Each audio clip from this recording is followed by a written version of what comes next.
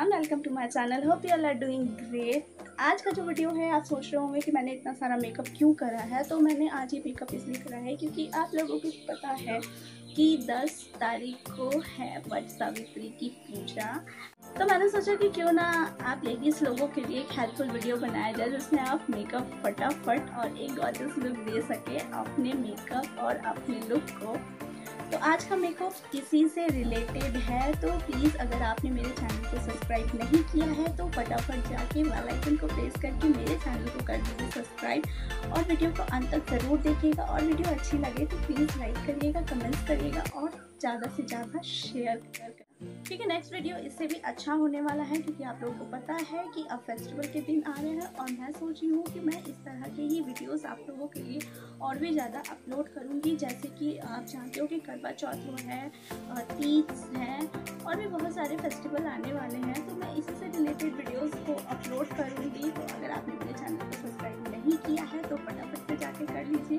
क्योंकि जब भी वीडियोज़ अपलोड होंगे, आपके पास उसका नोटिफिकेशन आ जाएगा। तो चलिए बातें नहीं करते हैं और वीडियो को स्टार्ट करते हैं। तो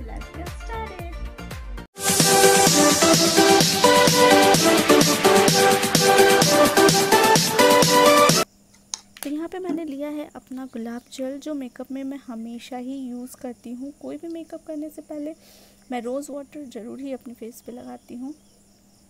उसके बाद मैंने लिया है यहाँ पे एलोवेरा जेल ये दो चीज़ें मेरे मेकअप का पार्ट है। मैं कोई भी मेकअप करने से पहले ये दो चीज़ अपने फेस पे ज़रूर अप्लाई करती हूँ और मैं आपको भी रेकमेंड करूँगी कि आप भी मेकअप लगाने से पहले ये दो चीज़ों को ज़रूर यूज़ करें।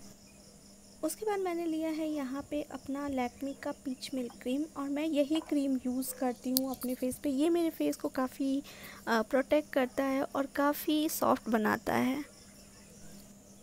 फेस मेरा। उसके बाद मैंने लिया है फेस पाउडर आज का मेकअप थोड़ा सा अलग है, इसलिए मैं फेस पाउडर यूज़ कर रही हूँ। ये लैक्मी का फेस पाउडर है। और मैं इसको फेस पे अच्छे से लगा लेती हूँ। उसके बाद मैंने यूज़ किया है आई शेडोज़ और ये मैंने लाइट पिंक कलर का लिया है कि थोड़ा सा आईज थोड़ा सा ब्लश करे। और मैं अच्छे से अपने आईज पे इनको लगा लिया है।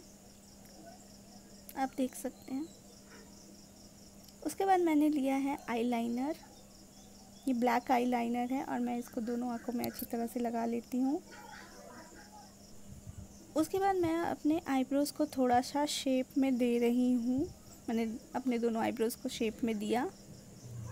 सी उसके बाद मैंने थोड़ा सा मस्करा लगाया है अपने आँखों में।